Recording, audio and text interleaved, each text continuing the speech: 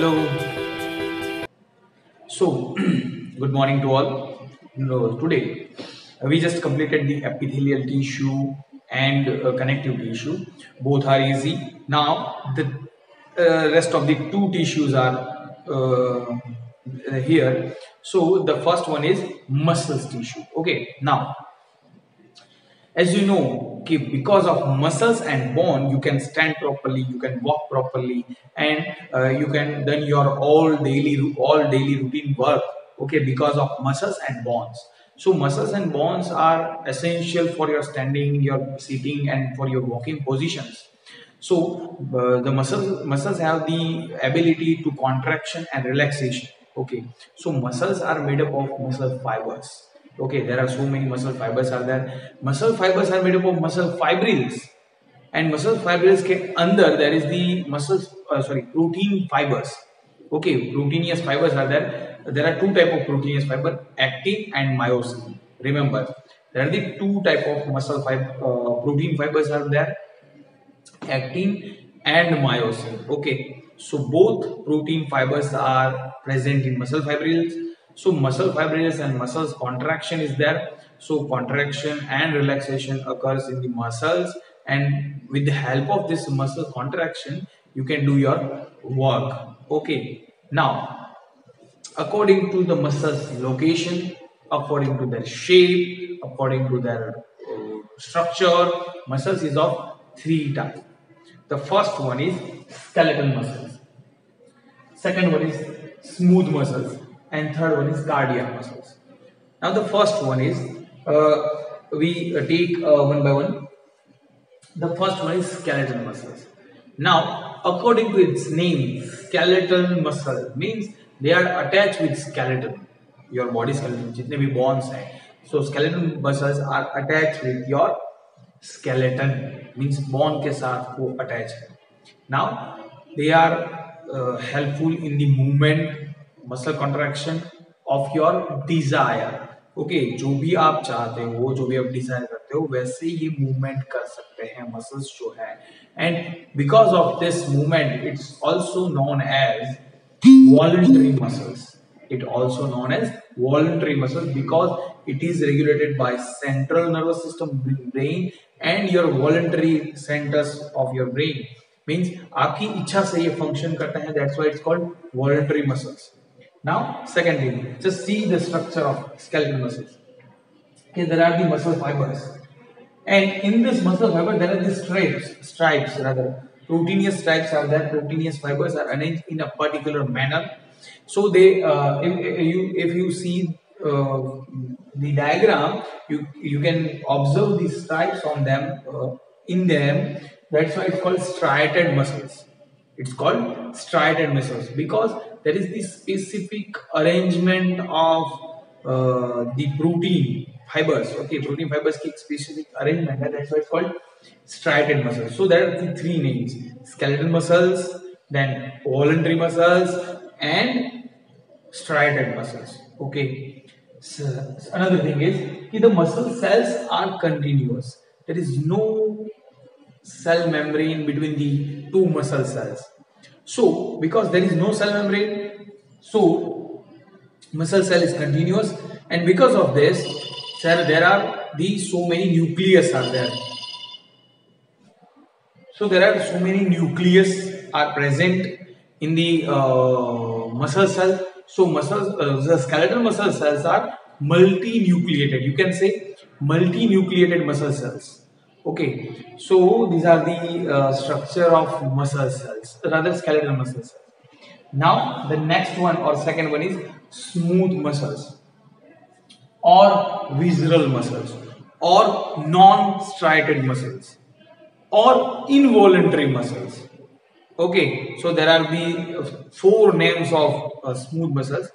Now, why these are the smooth muscles? Because it is different from skeletal muscles. You can see the structure. What is the difference? See the cells. Here the cells are long, fiber-like. Here the cells are, uh, the both ends are sharp. The middle part is somewhat swollen with the nucleus. Okay. So uh, this is the uh, smooth muscles. Secondly, they are present in visual organs. That's why it's called visual muscles also. They are present in intestine, they are present in stomach, they are present in uh, your abdominal muscles, in your diaphragm, in your uh, urinary tract, in your excretory tract, means your reproductive tract. In सभी जगह पे visual organs के सभी जगह पे there are the involuntary muscles because they are not uh, functioning according to your desire. That's why they are involuntary muscles. Okay okay, ये सारे जो है वो इनवॉलेंटरी मसल्स हैं बिकॉज़ वो आपकी डिज़ायर से काम नहीं करते वो ऑटोनॉमसली फ़ंक्शन करते हैं Okay so they are the involuntary muscles और smooth muscles why it is non striated because there is no stripes like skeletal muscles skeletal muscles की तरह इनमें स्ट्राइप नहीं है that's why it is non striated muscles okay there are four names now Next one is cardiac muscles. Obviously, according to its name, cardiac muscles are observe in the heart okay वो heart के अंदर आपको मिलते हैं। Now they look like the skeleton muscles they exactly look like the skeleton muscles वो exact skeleton muscles जैसे ही है। But there are some differences first of differences is The skeletal muscles are unbranched. There is the single muscle fibers, but the cardiac muscles are branched structure. Second difference is कि skeletal muscles के अंदर cell continuous है with the multiple nucleus और there are so many nucleus but here the cell membrane is there between the two existing muscle cells so there is the intercalated disc it's called intercalated disc जो दो muscle cells को divide करते हैं. Okay intercalated disc okay जो दो muscle cells को divide करते हैं easily so intercalated disc is there and which divides the two different cells and because of intercalated disc the nucleuses are sorry they are mononucleated or uninucleated cells okay so but the arrangement of protein fibers are same इसमें आप arrangement देख लीजिए protein fibres की और इसमें arrangement देख लीजिए protein fibres की both are same second thing is what is unique it is the non fatigue tissue means ये थकते नहीं है। इट इज़ कंटिन्यूसली इनकी जो कॉन्ट्रैक्शन रिलैक्सेशन प्रोसेस है कार्डियक मसल्स की, और इनके स्टिमुलेशन भी उससे अंदर के अंदर ही मिलते हैं, और दे कंटिन्यूसली एक अगर एक को स्टिमुलेशन मिला तो सभी को मिलता है and they continuously contraction relaxation process ये कॉन्ट्रैक्शन रिलैक्सेशन जब करते हैं तो ये थक जाते हैं स्केलेटल मसल्स एक बार आप टायर्ड हो जाते हो बट कार्डियक मसल्स है वो नॉन फैटिक कभी कभी कभी भी टायर्ड नहीं होते सॉरी वो कभी भी टायर्ड नहीं होते वो कभी भी थकते नहीं। रादर के वो कंटिन्यूसली मसल कॉन्ट्रैक्शन करते हैं फिर भी ओके okay, फिर भी वो टायर्ड नहीं होते। So this is all about the cardiac muscles okay so cardiac muscles smooth muscles and skeletal muscles okay so this is all about the muscles tissue. Now we move towards the neural tissue or nerve tissue. Now neural tissue and nerve tissue as you know your all tissue all organs and whole body or organ systems is coordinated by or regulated by neural tissue or nerve tissue okay okay, आपकी जो पूरी body है वो regulate होती है which is coordinated by the neural tissue now what is the component of neural tissue neural tissue के अंदर दो component है the first one is neuron or nerve cells and second one is neuroglial cells so neuroglial cells are supportive cells neuroglial cells हैं वो कैसे हैं they are supportive cells means they give the support to neuron okay वो neuron को support करते हैं it is supportive cells so neuroglial cells now different parts of neuron means nerve cells is equal to neuron. So there are different parts of neuron. Okay, the first one is key the dendrites. Then second one is cell body, and the longest part is axon. Okay, so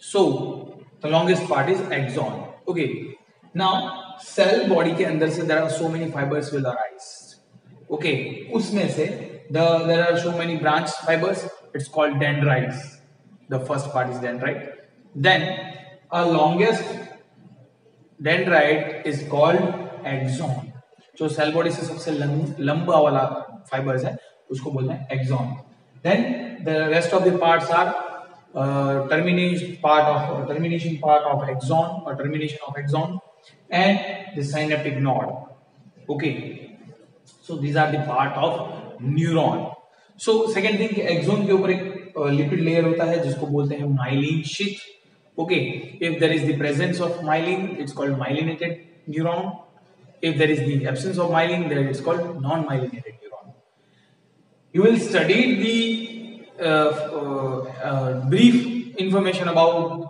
this nerve tissue or neuron in the 21st chapter आप 21st chapter में इसके बारे में detail study करेंगे but यहाँ पे सिर्फ़ इतना ही है ना नर्व टिश्यू जो है वो मैसेज रिसीव करती है from the sensory organs. Or they start the nerve impulse. So uh, uh, elect electrically they the ion exchange के थ्रू और डिफरेंट पोटेंशियल डिफरेंसेस के थ्रू वो पहुँचती है nerve impulse from the sensory organs to brain with the help of neuron neuron के cell membrane पे ये transportation होता है और ये नर्व इम्पल्स पास होकर सेंसरी नर्व सेंसरी ऑर्गन से जाते हैं ब्रेन में। ब्रेन में उसका एनालिसिस होता है। देन ब्रेन से होकर वो फिर से वापस आते हैं। जो मोटर ऑर्गन है, जहाँ पे ऑर्गन को काम करना है, कि जिस ऑर्गन को अकॉर्डिंग टू द सेंस जिसको काम करना है, उसके अकॉर्डिंग वो चेंज होते हैं या उसके अकॉर्डिंग वो काम करते हैं। ओके सो नर्व्स का काम क्या है कि नर्व इम्पल्स को पास करना? मीन जो सेंस मिला है बॉडी को, उस सेंस को पास करके ब्रेन तक पहुँचना और ब्रेन से जो मैसेज मिला है, उसके अकॉर्डिंग मैसेज देना स्केलेटल मसल्स को या फिर मसल्स को कि आपको इसके अकॉर्डिंग काम करना है। सो so, ये जो मैसेज ट्रांसपोर्टेशन का पूरा काम करते हैं वो न्यूरॉन करते हैं एंड न्यूरोग्लियर सेल उसको सपोर्ट करते हैं। All about the uh, nerve tissue and this is all about the muscle tissue. Okay, so this is the two type of uh, tissue uh, जो बाकी थी। आज टिश्यू uh, यहाँ पे complete होती है। नेक्स्ट लेक्चर में we start with the different animals जिसमें हम अर्थवॉर्म से स्टार्ट करेंगे। सो so, आज के लिए इतना रखता हूँ। Okay okay.